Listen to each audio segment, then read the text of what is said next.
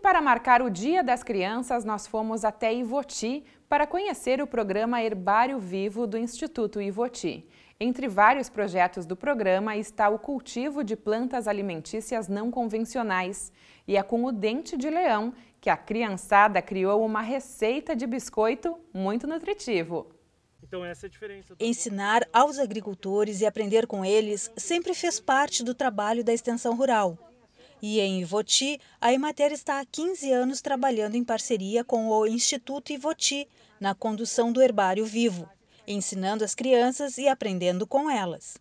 O programa Herbário Vivo é um programa já de quase 15 anos aqui, né, do Instituto Ivoti, e nós da Emater temos uma parceria muito grande há muitos anos com esse programa.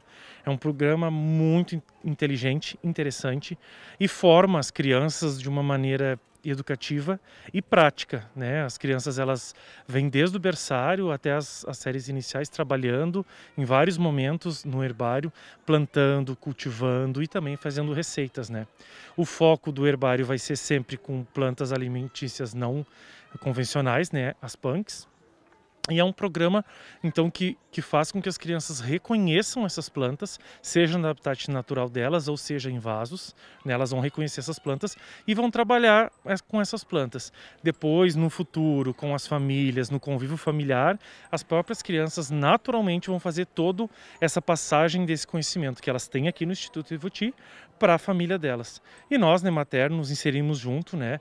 trabalhando junto com essa parceria, sempre tentando construir e fazendo essa sociedade um pouco mais, mais humana e melhor. Nós estamos agora na sala de oficina do programa Herbário Vivo, com a professora Sueli e as crianças, o Carlos, a Caroline e o Gabriel, que depois vão fazer uma receita para a gente. Mas a professora Sueli vai conversar um pouquinho para a gente, contar um pouquinho desse programa. Como é que é, professora? Pois é, esse projeto, na verdade, esse era um projeto no início, começou, depois foi se constituindo num programa. E ele iniciou com um trabalho de um projeto de inclusão social chamado Cultivando as Flores na Adolescência.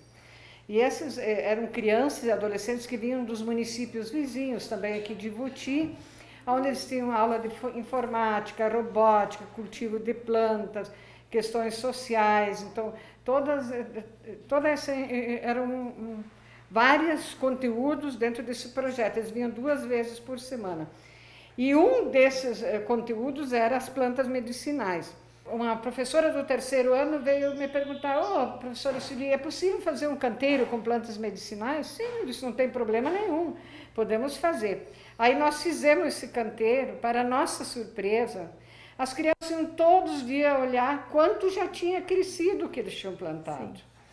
Mas, um dia, a nossa professora foi lá no herbário, porque os adolescentes tinham plantado um monte de plantas, e eles viram que ali tinha as camomilas florindo linda, e eles disseram: Ô prof, pode me dizer por que tem tanta mosca nessas flores? E a prof disse: Vamos tentar descobrir se isso realmente eram moscas.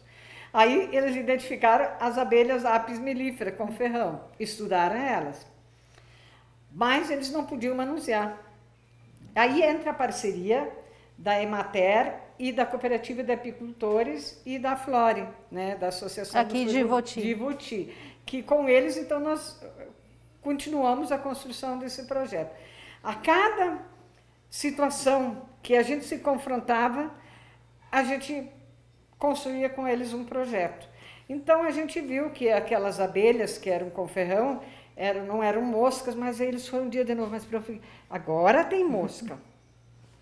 Não eram as moscas, era jataí e as abelhinhas sem ferrão. Bom, era isso, era fundamental, porque aí nós agregamos, já tínhamos as plantas medicinais aromáticas, aí entrou a questão das, das abelhas, um elogiou tanto, tanto, tanto que matou toda a nossa capuchinha, não tinha mais sementes. O que, que nós vamos fazer? Ah, um sugeriu, vamos colocar na geladeira, outro vamos colocar em vidro de conserva, cada um uma sugestão, até que eles descobriram que a gente podia fazer um banco. E por isso nós temos o Banco do Cimento. E agora chegou a hora de nós aprendermos com os alunos do quinto ano uma receita criada por eles: biscoito de dente de leão. É assim, criança também tem muito o que ensinar. Nós vamos agora fazer a receita com dente de leão, que foi uma receita eh, construída por este grupo e aonde todos os outros da turma experimentaram se estava gostoso ou não, se aprovaram ou não essa receita. E nós vamos iniciando com a nossa colega aqui, que ela vai fazer o que você vai fazer agora? Primeiro a gente vai untar a forma para depois começar o preparo da receita dos biscoitos. Vamos untar bem, porque a gente está untando a forma aí. Para os biscoitos não grudarem certo. na hora da gente. Tá. E nós vamos agora uh, colocar os ingredientes. Pode começar. Olha pela lista o que vai, quantas folhas vão. A gente bota 10 folhas de dente de leão, 2 ramos de salsa, 3 ramos de tomilho, 2 ramos de cebolinha verde, 3 folhas de arapronobis, um dente de alho, uma pitada de páprica, uma pitada de pimenta preta, um copo americano de água e uma colher de chá de sal. E agora o que, que nós vamos fazer? Bater no liquidificador. E vocês podem ir no liquidificador? Não, porque a gente é criança. Você porque que é muito, vocês são crianças, então vai levar lá no liquidificador. Agora vamos colocar o líquido dos ingredientes todos nessa bacia.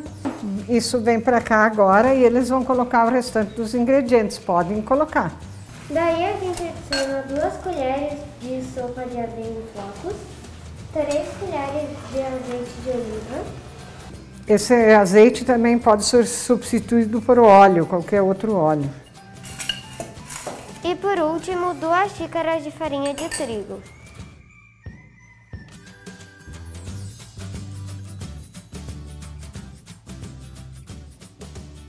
Nós vamos colocar uma parte da massa, porque senão ele vai ficar muito grande para fazer. Então aqui uma parte da massa, olha só. E agora eu vou tentar misturar, depois vocês abrem para mim, pode ser? Vocês viram que a massa é bem verdinha, né? Linda essa massa.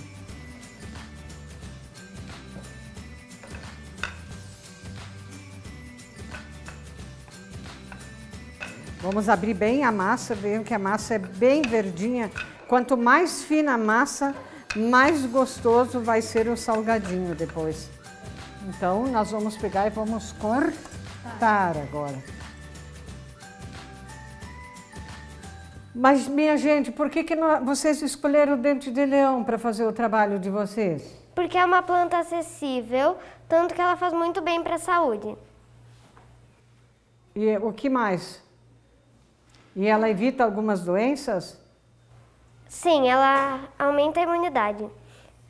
Aumenta a imunidade das pessoas, então quer dizer que a pessoa vai estar mais protegida contra as doenças. E ela, vocês sabem, né, que ela é rica em vitaminas e minerais, Sim. que ajudam o nosso organismo para que a gente tenha uma saúde é, boa e possa se desenvolver bem. Então, o que é importante, assim, a gente salientar, de que ela não é uma planta nativa do, do Brasil, aqui do Rio Grande do Sul. Ela é, foi, foi, trazida pe, pelos europeus, quando eles vieram na migração para cá, e na sua roupa. Eles não sabiam que eles trouxeram isso junto na dobra da sua roupa, na mudança. Mas quando eles viram que o tempo foi se desenvolvendo, a planta era uma planta que eles tinham muito na sua terra natal. E aqui, no início, eles usavam para tratar os animais. Aos pouquinhos, foi se usando pra, na alimentação. Eu aprendi quando eu trabalhei nos assentamentos, que eles não tinham verdura para comer, né? então eles iam lá é, procurar, e eles achavam o dente de leão, a serralha, e é uma planta, é uma planta punk?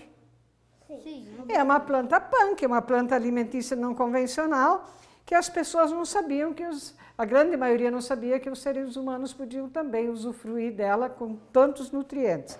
Agora nós vamos assar, não é isso? Então eles vão colocar na, na forma, ah, pode ir colocando. Bem pertinho pode colocar porque ela não cresce.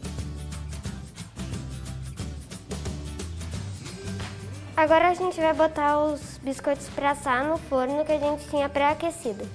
De quantos graus nós pré-aquecemos? 180 graus. Vocês podem ir no forno? Não. Não. Então a prof vai levar para no forno para assar. Quando dourar, ele está pronto.